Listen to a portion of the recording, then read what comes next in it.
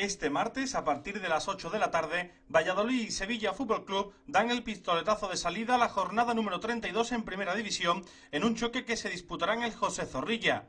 A dicho encuentro, vallisoletanos y nervionenses llegan en momentos muy distintos. Mientras los sevillistas han logrado dos victorias consecutivas que cortó la mala racha de resultados, los pucelanos se encuentran inmersos de lleno en una enorme crisis que le está llevando a solo haber ganado un encuentro de los últimos 16 disputados o lo que es lo mismo, solo una vez ha sumado de tres en tres en lo que llevamos de 2010.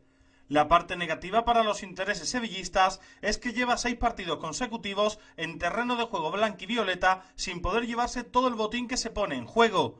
Habría que remontarse hasta la temporada 96-97 para recordar la última victoria sevillista en suelo pucelano. La temporada pasada se vivió un precedente muy aciago, y es que el equipo entonces entrenado por Manolo Jiménez arrasó en los primeros minutos desplegando un fútbol de muchos quilates y adelantándose en el luminoso gracias a los goles de Renato y Navas. Sin embargo, la absurda e injusta expulsión de Luis Fabiano cambió el signo del partido por completo. Los locales, con uno más durante una hora de partido, supieron voltear el encuentro con tres goles que dejaron los tres puntos en Pucela pero para romper la mala racha del Sevilla en Valladolid, Antonio Álvarez recupera a Adrián y Ducher, aunque sigue sin poder contar con Zocora.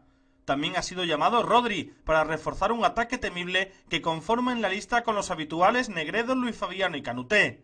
Menos de 24 horas quedan ya para que eche a rodar la bola en el José Zorrilla y se pongan en juego tres puntos claves para las aspiraciones de ambos equipos. Tres puntos importantes para el Sevilla, que esta semana se ha acercado a cinco puntos del Valencia y que con una victoria tratará de aprovechar el duelo entre rivales directos que enfrentará el jueves al Valencia y al Atleti de Bilbao.